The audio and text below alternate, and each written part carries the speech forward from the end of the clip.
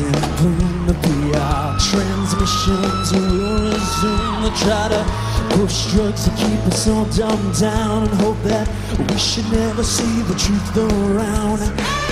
Another promise, another scene, another a package lie to keep us trapped in greed with all the green belts wrapped around our minds and endless red tape to keep the truth confined.